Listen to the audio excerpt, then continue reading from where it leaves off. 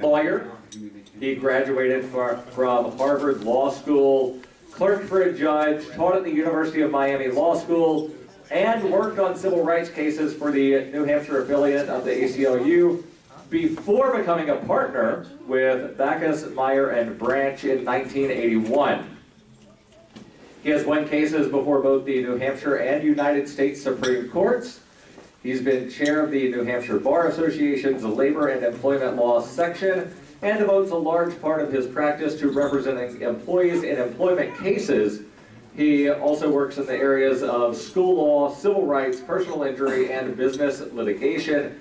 And he's even been recognized, and I realized that in this room, this might not be considered a huge accomplishment, but he has been recognized in the book Best Lawyers in America in the fields of employment and First Amendment law. And what I find most amazing about Jon Meyer, when I first moved to New Hampshire in 2012, I picked up a copy of the Keene Sentinel, and one of the front page articles was Bigfoot wins free speech case at Mount Monadnock. The lawyer for that was Jon Meyer. How many people remember the Robin Hood of Keene case from a few years ago that went to the New Hampshire Supreme Court twice? The lawyer for that was Jon Meyer. Let's give a big round of applause for our keynote speaker, Jon Meyer.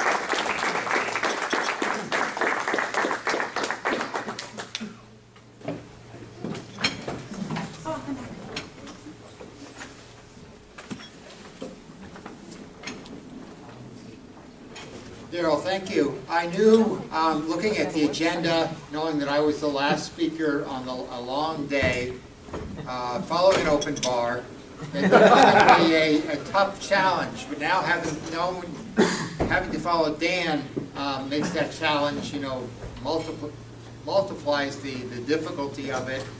Even worse, I've been assigned a, um, a legal topic.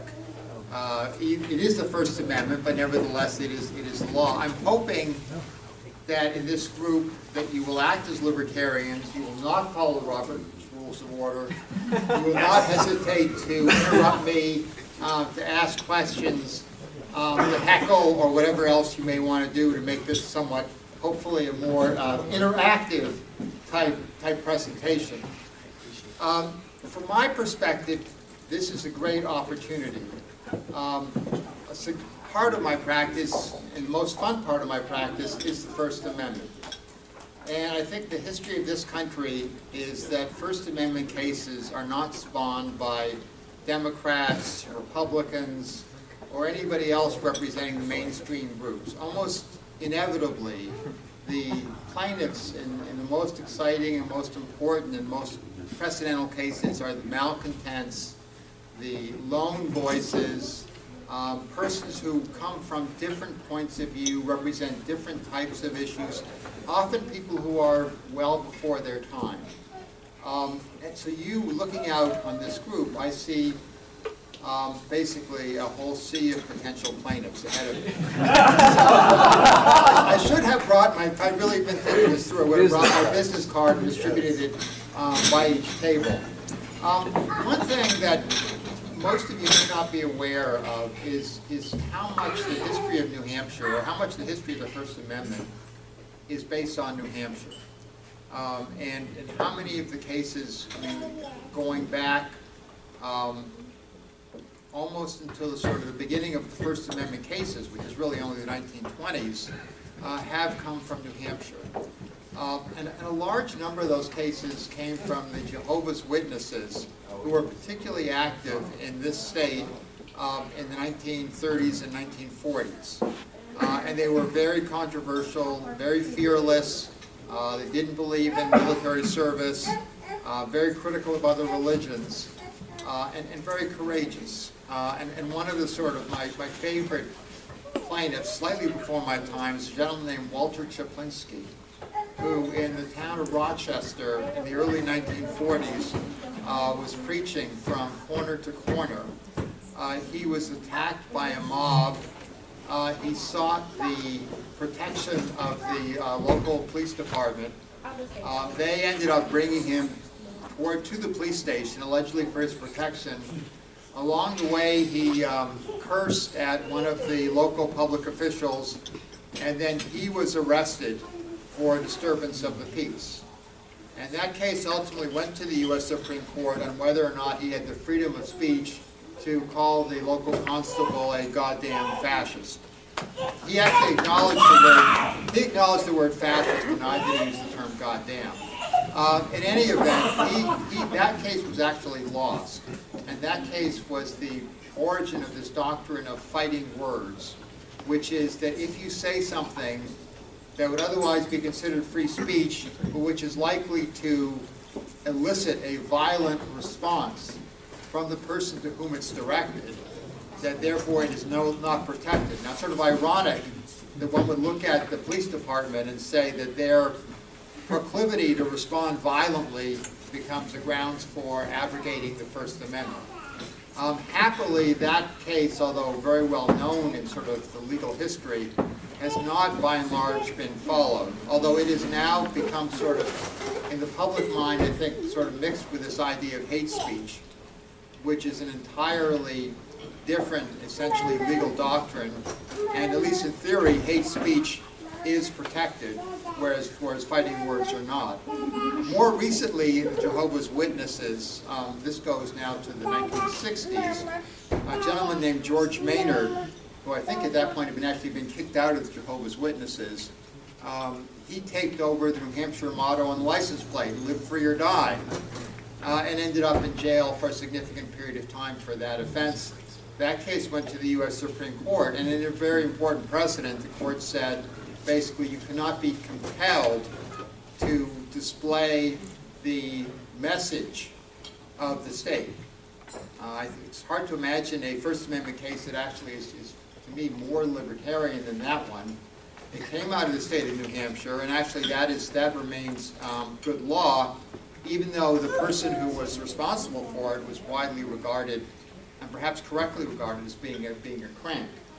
Um, the other significant slice of First Amendment history from this state is cases of the 1950s, uh, when there was a crusade against anybody who was believed to be sympathetic with the communists. Uh, and there was a, um, the Attorney General at the time, Louis Wyman in New Hampshire, had his own sort of investigative task force. Uh, a number of people were imprisoned, um, kicked out of the University of New Hampshire and so on and so forth, and that resulted, uh, and again, in some landmark uh, U.S. Supreme Court cases. So this state, which despite its small size, is really uniquely important within the development of the First Amendment.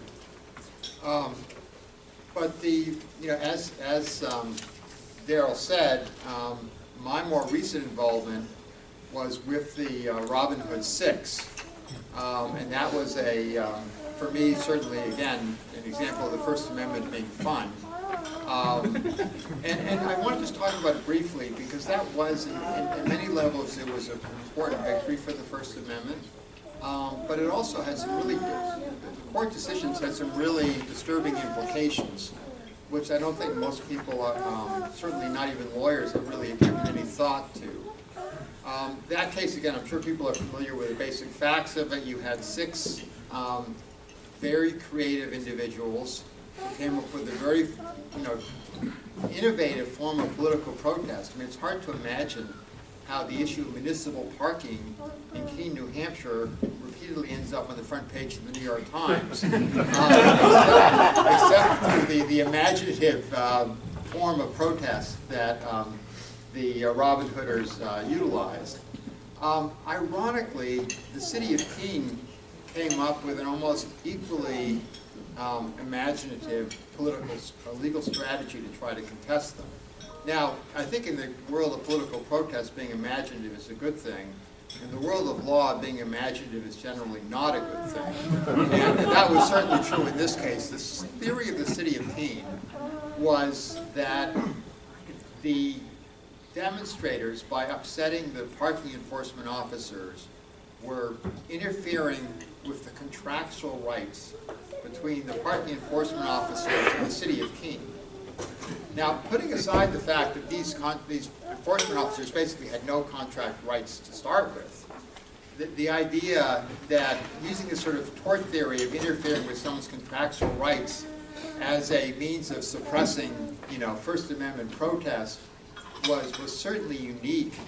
And it was, it was, I mean, it was faulty on so many different grounds, it was hard to know where to start. And I think the trial judge was aware of that even before my involvement. We Went through three days of, of um, trial, which I think again was probably as important on a public relations ground as on a legal ground. And the case eventually went to the New Hampshire Supreme Court.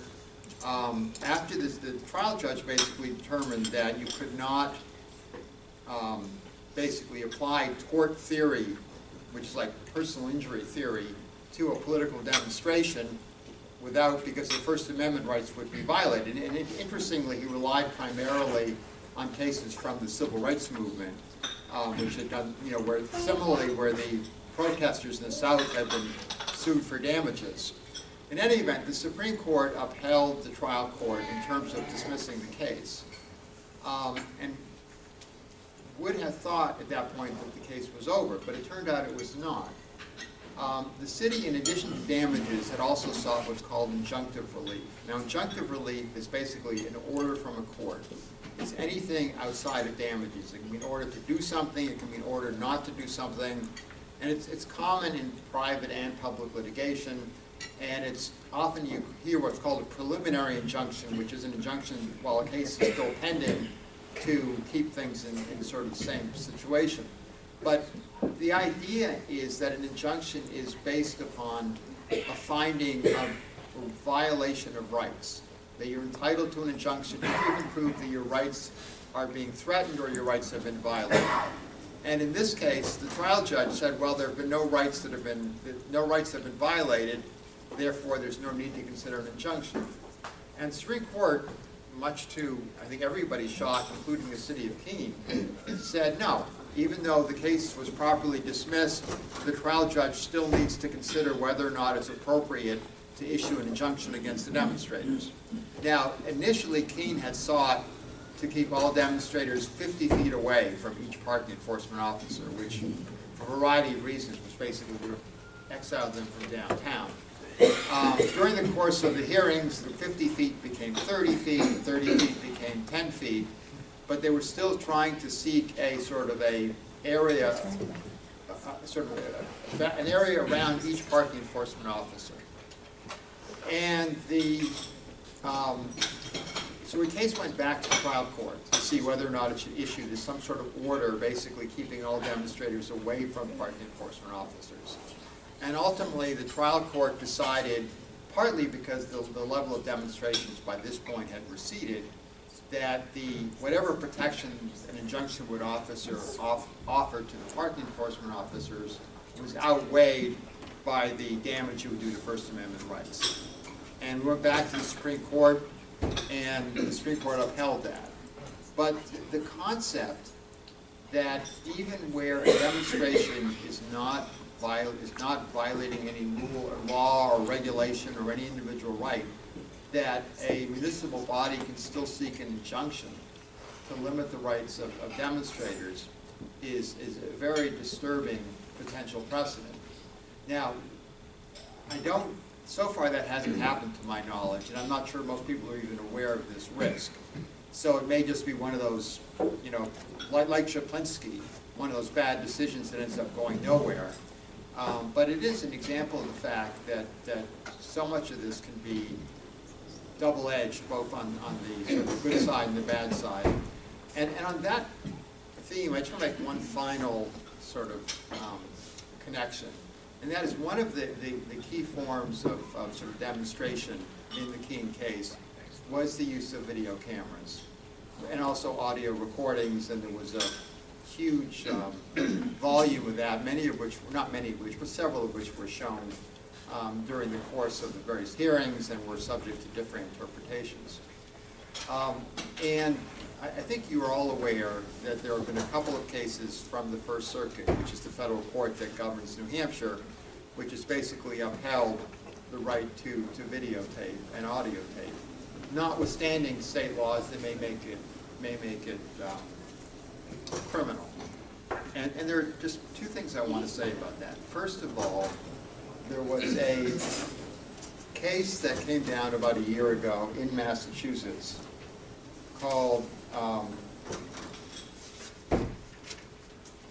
Martin v. Gross.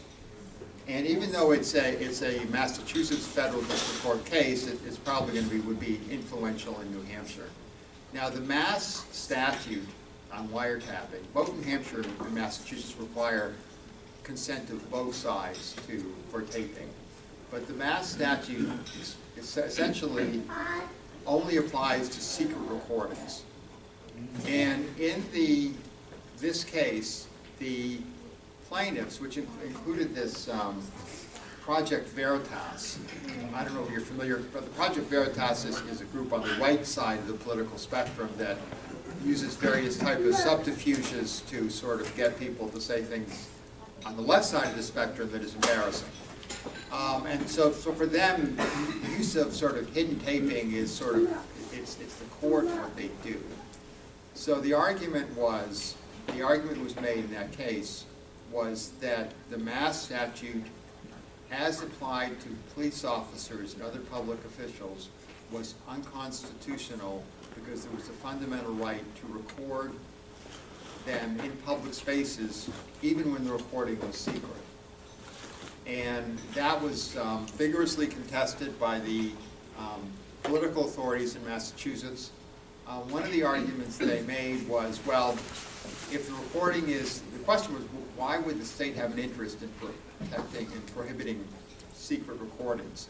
And their argument was, particularly the police officers, their argument was, well, if the police officer knows, knows he's being recorded, he has an opportunity to improve his behavior, or her behavior. It seems like, it seems like sort of strange that you need to have a re- a recording in order to provide an incentive for police officers to abide by the law. In any event, the, the, the judge did not have a lot of difficulty in holding the, um, in saying that secret recordings is a right, that a state cannot prohibit recordings, he does, cannot require that recordings be made public. Um, But there are a couple of things I just want to say about this whole area. Because my experience in, in the uh, Robin Hood case was that the two sides, this was after Glik had been decided, had dramatically different interpretations of Glik, and I'm not sure that either interpretation is correct. On, on the side of Keene, somehow Keene saw, in Glik, the court says, there is a ri- First Amendment right not only to speak, but to get information. And one way to get information is by recording, so it's constitutionally protected First Amendment. But the court also said that the state, or, or the state, the police officers in in that case, can set reasonable time, place, and manner limitations. So Keene looked at that and said, aha, we can, we can say, all right, we'll allow recording, but you have to record from hundred feet away, or fifty feet away, or whatever. I mean, they, they saw that as being a license to basically set up whatever restriction they wanted about the logistics of recording. Which, and and that, again, was one of the points that the trial judge uh, knocked down. But on the other side of it, um, in, in just talking to a number of the people who participated in this protest, the, the theory from Glik was that basically we can record anybody we want, anywhere, anyhow, etc. And, and it's important to, to sort of understand that there is, from the court's point of view, there is a middle ground here. And one of the things that the, was asked the court in Martin, most recent case, was to try to define that, which the court refused to do. But, but one issue is location. Um, In the world of the First Amendment, there's something called a public forum. And a public forum is like a park, it's a sidewalk, it's downtown Keene, it's places where free expression has been historically allowed. And the question is whether the right to record only applies in those type of places. Now, in Glik, the court didn't use the word public forum, which is the technical First Amendment term. The court used the term public space. And the question is, how far, if at all, does public space go beyond public forum? And, and to make this a little bit more concrete, um, as uh, Dan mentioned, or I think Daryl mentioned, I was involved in a case involving uh, a gentleman whose First Amendment expression involved donning a gorilla outfit and uh, doing his guerrilla theater up on Mount Monadnock. And in that case, um, the question is, is Mount Monadnock a public forum? Is Mount Monadnock a place, you know, in which the, the public is, you know, there's sort of this historical right to, to gauge in free expression? Now, ironically, in that case, the state agreed that it was a public forum, so that really wasn't contested. After this, two sides had presented their arguments to, to the New Hampshire Supreme Court, the court of its own initiative said, we want you to, to tell us whether to argue this issue. We want the state to argue that Mount Monadnock's not a public forum. So the state argued that. And then later on, the court said, well, it's too late because basically, you know, you conceded it earlier. But there is a question about whether, for example, parks, mean, national parks and places are, are public forums. But perhaps more significantly, and I know that some of the, um, um, some of the same people involved in Robin Hood have, have faced this, how about like the UNH campus? Um, I mean, that is a public, the UNH is owned by the state. Um, On the other hand, most courts have held that state universities, state colleges are not public forums for First Amendment perspective. So I just want to flag the fact that there is a unresolved issue as to whether there is a right to record in areas outside of what are considered traditional um, public forums. Um, The second issue has to do with who can be recorded. Um, The initial cases, certainly Glik involved police officers. Uh, But it was clear in Glik, the court didn't just say police officers, it said public officials. But then the question is, who is a public official? Um, And the issue of, um, you know, I had a case involving the Department of Motor Vehicles. The head of the Department of Motor Vehicles is certainly a public official. But when you, when you go up to the, um, that, when you go up to the counter, you speak to a clerk, and that person is employed by the state, but would that person be considered a public official?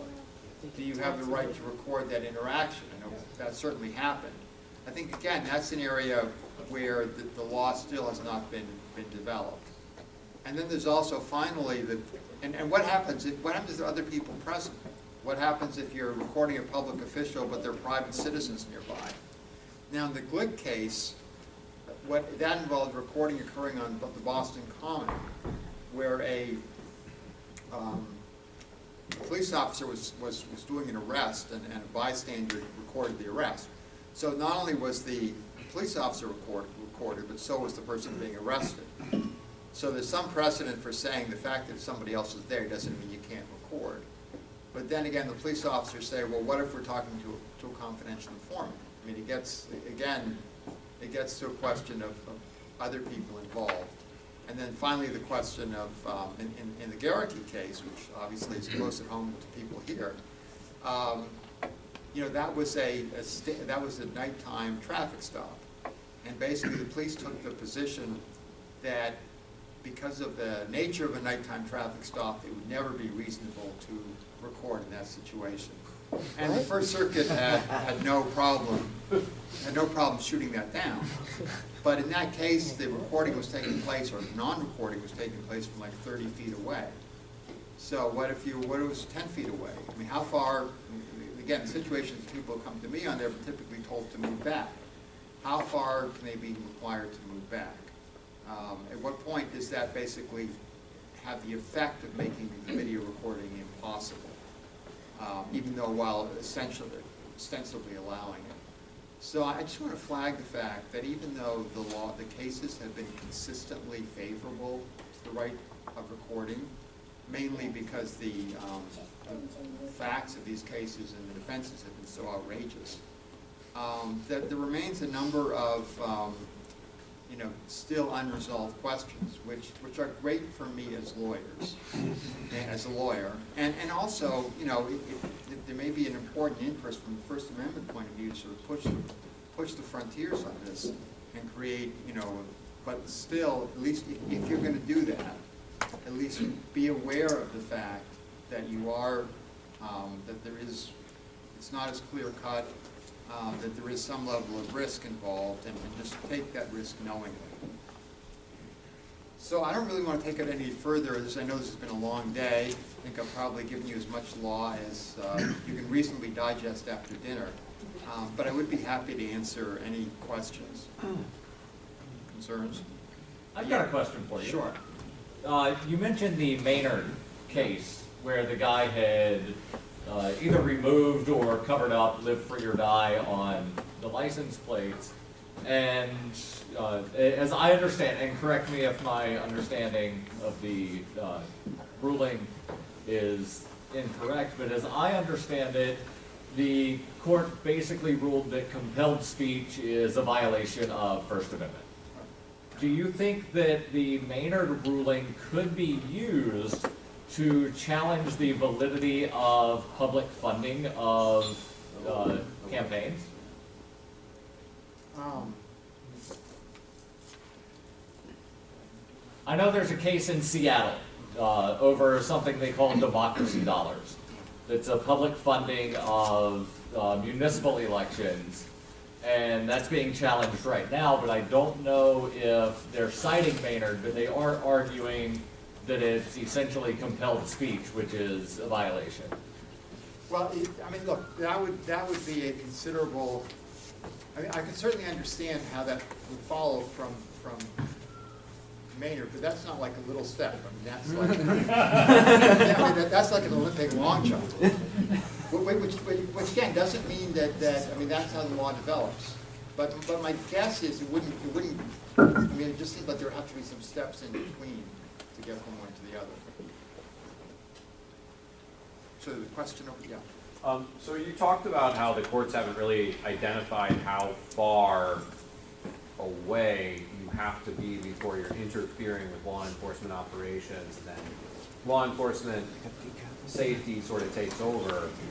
Uh, Have any of the courts looked at the Tueller drill and the twenty-one feet that police officers often get some expert to testify that within twenty-one feet, a person with a knife can get there faster than you can draw and shoot your gun? Um, which is usually used in a wrongful death action as if the person was within seven yards, I can shoot them without knowing whether they got a gun. Ha- Has there, have, have the courts actually looked at that and said, well, this is why you can't record inside of those seven yards? Or do they not, do they not try and allege that somehow the person with the camera is dangerous?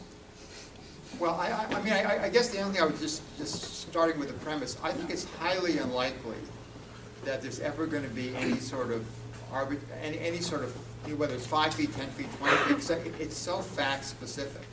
In other words, you're looking at, I, I would think in a case like this, in most court, you're looking at probably a dozen different considerations. Um, One of which is, is just the distance itself, but there, there are many others. I mean, you'd have to look at how does this affect the ability to, to, to record? I mean, that would be certainly a consideration. Secondly, would be a consideration of, does this impact, does this somehow interfere with law enforcement operations? What, what's the rationale? So I would think in some cases, you might have a case where ten feet was considered within the constitutional right, another case might say fifty feet. Again, really, really, I, I, I think that, that, that the number of feet is just sort of a a fairly small part of the overall analysis. There's a question, I think, over there? That was literally the question I was gonna ask. Okay. No, it, it would, it would be nice, I think, if, if you could sort of bring a measuring stick with you and sort of know exactly how many feet away, but I, I just don't think that's the way the law, it's like, well, yeah. So, you talked about uh, recording a public forum or public space involving government officials, but what about other private parties? You know, do you have, I know it's, I know it's not the same thing, but we're in this era of mass surveillance, we're always being recorded, whether it's security cameras or law enforcement putting cameras up. So do you have, I don't know, and plus this right to privacy, like how does this intersect like with either private actors or like, do I have a right not to be recorded? Do I have a right, you know, not to be surveilled? Um, So on the flip side of it, you know, you mentioned people who are like oh, but the cop was arresting me, but I objected to being recorded even though it may have benefited me, you know, on the other side of it. Well, I mean, I mean, that, I mean, the thing is, that question is so good that I, it's beyond my ability to answer it, basically. I mean, I mean, be- be- because, I mean, you, you, you're raising really, I mean, there are, that is the question. I mean, there are questions. I mean, one question is, I mean, you see now, in, in so many of these, these, um, thinking most recently this horrendous homicide, um, in Connecticut, where so much of it's based upon all these different cameras of different, you know, and, and cameras, I mean, it's, we're not quite at the point of Great Britain, but there are cameras almost everywhere. So how does that impact things? I think it- in some ways it becomes harder to complain about invasion of privacy from a video camera when we're all of us being filmed so many other locations. And then, but then the question is, at some point, do you just let go of the right of privacy altogether? And how does that, I mean, how does the, you know, I mean, one of the arguments I made in, in, in, in um, Robin Hood is that police officers and public officials are not like other, they're not like private individuals. I mean, you sort of Say give up. again. I'm- pardon? Yeah, and, and in fact, in fact, in the Glik case, there's a discussion about that, that one of the things that you, by becoming a police officer, you make certain, you give up certain things. And you have to accept certain burdens that, that private citizens don't necessarily have to, to accept. But, but again, in the real world, I mean, you don't just, people are, you know, they're in crowds, they're with other people, I mean, it becomes really hard to say. And then, of course, the officers themselves have cameras. So, I mean, you know, there's so many different aspects of this that make it much more, make it, so the principle, which thanks to a number of pioneers, is now clear, a First Amendment right to gather information, that right is secure, I think. But how it actually gets defined and how it affects everybody's right to privacy, I think is still an evolution.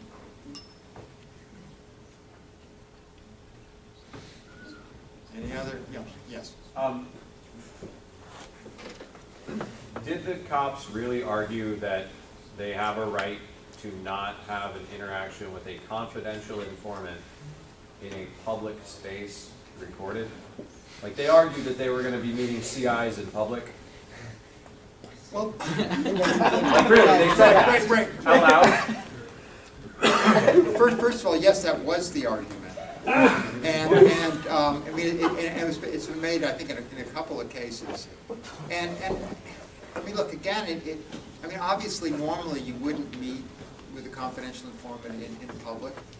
But, but again, in, in this day and age, I mean, you know, can you, can you say that you, there would never be a circumstance where you'd want to do that?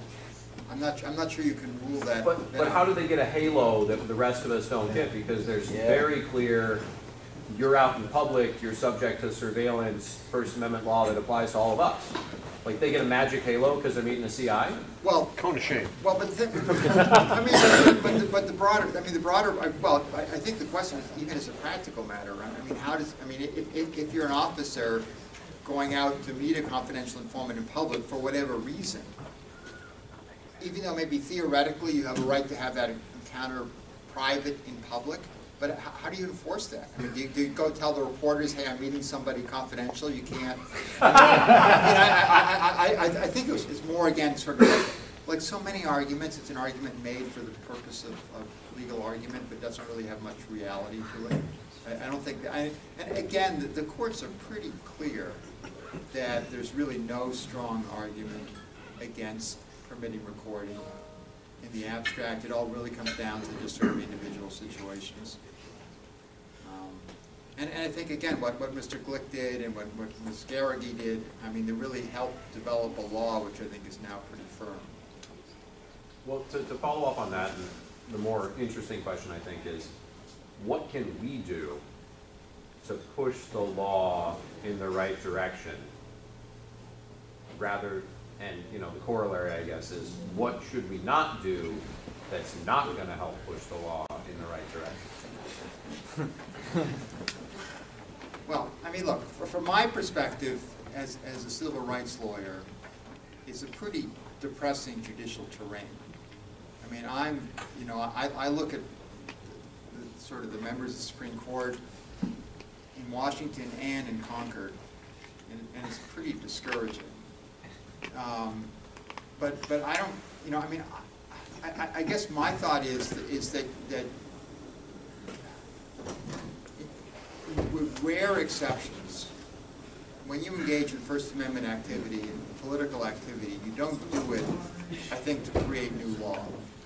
There are, there are rare test case situations. I think the better thing is to, is to focus on, on, on the politics of it. And if, there's a, I mean, what, what, what, what is the way to most effectively express your message? I mean, that, that to me is the issue. And if that raises legal questions, then, you know, consult with the First Amendment lawyer. Uh, but I, I don't think otherwise it's, I mean, you know, it, it's so hard to predict here. You want to be outrageous, but you don't want to be too outrageous. Exactly where that dividing line is, is really hard to identify. Yeah.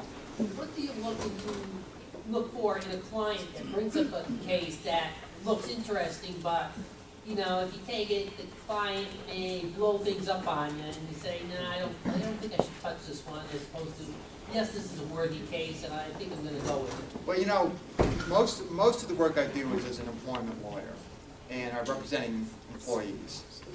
Um, and in, in that situation, it's, it's very, you know, who my client is and what they do and don't do is very important. I, I don't feel that way in the First Amendment. I mean, as far as I'm concerned, the First Amendment, you know, I'm happy to represent somebody who's, who's completely outrageous in every possible way. Um, You know, I, I personally prefer to represent people whose political beliefs I do not share, because that makes it clear that what we're talking about is the principle and not the, the political ideology. So I, I, I'd be be hard pressed to, to think of, um, I mean, look at Walter Chaplinsky, or, or look at George Maynard, look, look at these guys who have set, you know, the most important sort of legal principles and precedents. I mean, these were very, very difficult individuals who were generally very principled, but often with pretty bizarre principles. Um, You know, often very sort of, I mean, in the Robin Hood, you had a good, a group working together, but most cases are, are people who are very, very, very, um, you know, often very, very difficult. Um, You know, there's just another case recently on the First Amendment in New Hampshire. There was this guy, um, I think in Epping, is Epping, I'm not sure, who was, who was, um, he was sued for criminally defaming, I mean, he was, he was Exeter. Yeah, Exeter. yeah, ex- criminally defaming a um, police chief. And, and you're looking at what he said and looking at his history, I mean, this isn't exactly, you know, Mr., you know, John Public Citizen. Um, But, but that's, he's been setting a really important precedent. And, and the fact that he may have been outrageous, you know, was certainly not a reason not to represent him, and I don't think it hurt the case. So, however, you- I mean, don't, don't feel you have to be respectable, give me a call.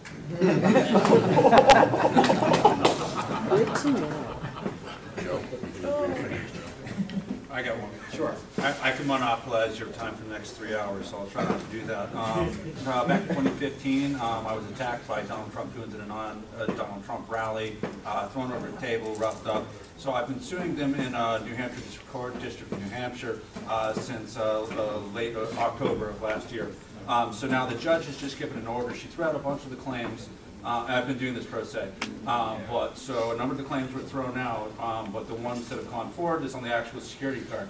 A bunch of the claims were thrown out specifically because, and I think the court clerks write this bullshit, and it's under, um, Landya McCafferty is, is the judge for it.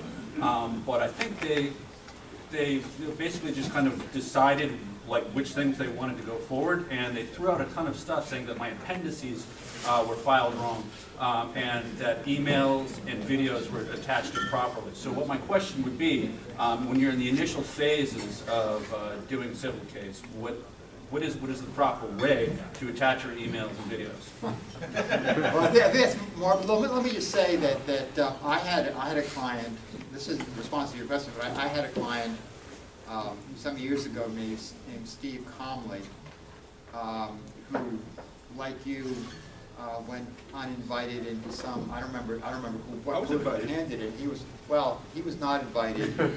He was quite outspoken, and he was um, roughed up, and- and that ended up in in litigation. But then, then a year or two later, uh, the governor's inaugural, um, where every- the governor's getting sworn in by the Supreme Court and everybody else, Mr. Comley sort of goes, and rushes the stage and starts wanting to give, was a, uh, a a sort of anti-nuclear um, zealot, and he got arrested for disturbing the peace. So then I was representing him against the, the criminal charges. While we were in district court, he had an airplane uh, flying over the courthouse saying, "Free Steve Comley." Nice. It didn't, did- I'll use unfortunately, un- unfortunately, unfortunately, didn't, didn't affect the uh, trial judge. And then we we ended up in the Supreme Court, and of course, all the judges were witnesses to what Mr. Comley had done. They were all there on the stage as he was charging.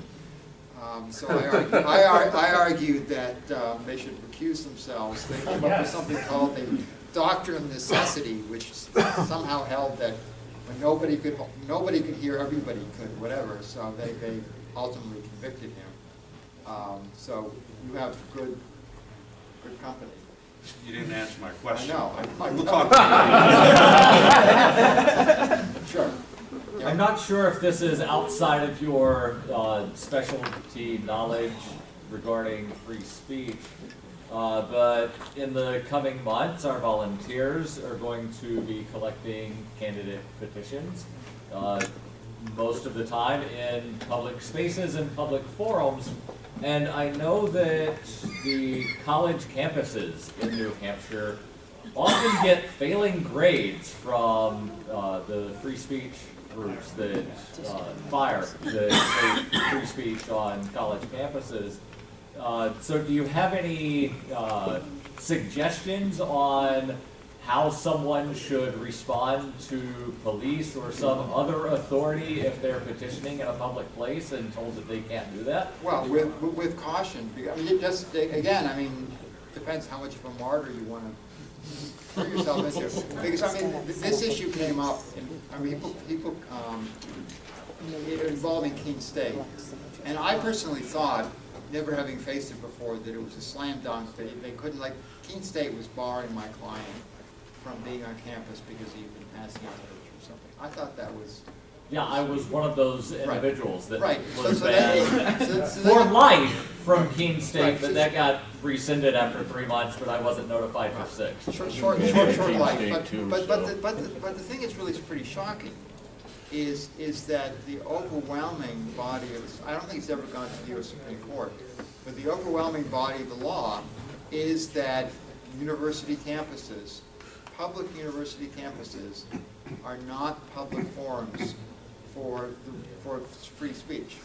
So basically, what that means is, is that, is that if you're, one of your canvassers is told to, to stop, they're probably gonna have to stop or get, or get arrested. Now, the, one way to get around that is this idea of discrimination.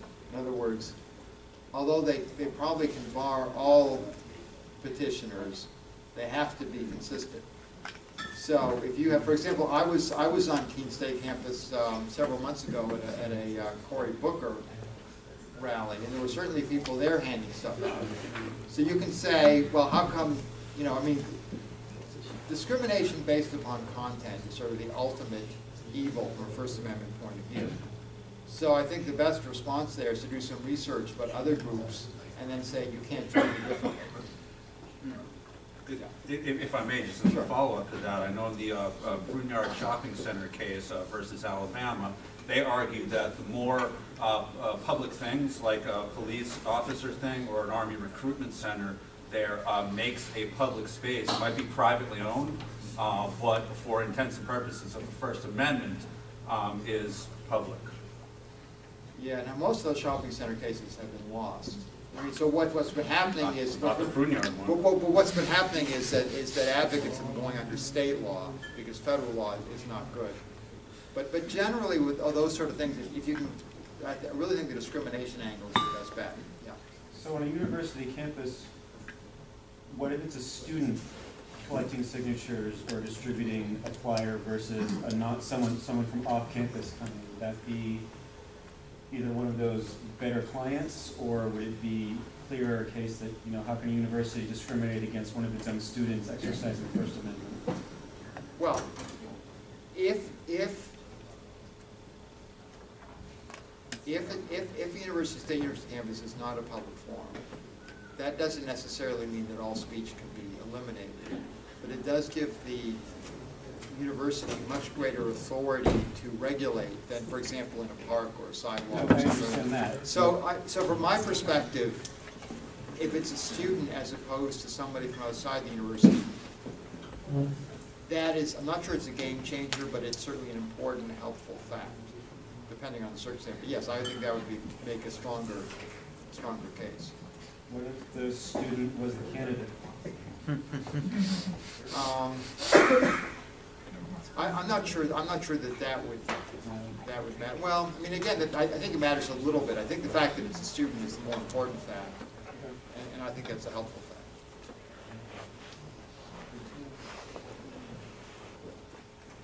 Well, I appreciate everybody's questions and patience, and then thank you for inviting me. It's definitely been a privilege to speak to this group.